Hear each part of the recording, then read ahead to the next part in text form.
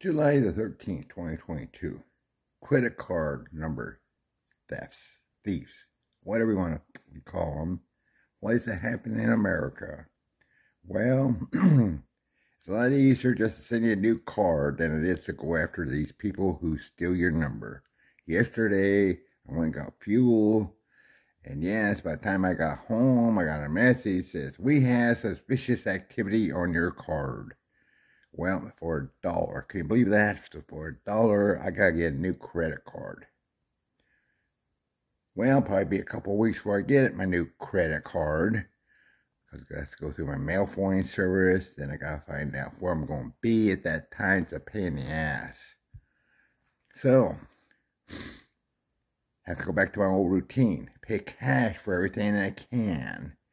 Gas, food, etc. The only time I use my credit card is to pay my monthly bills. The you know, automatic payment.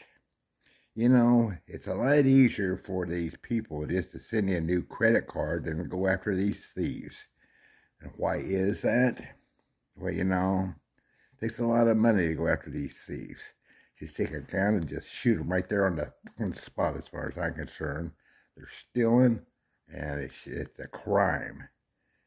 But they don't go after these thieves.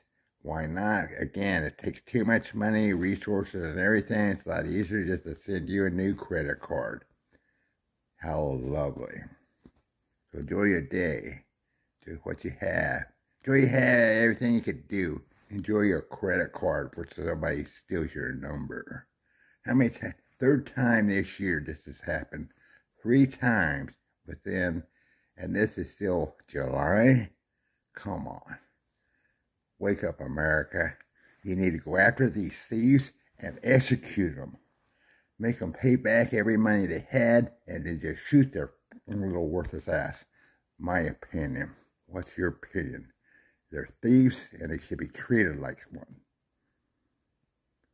See you later.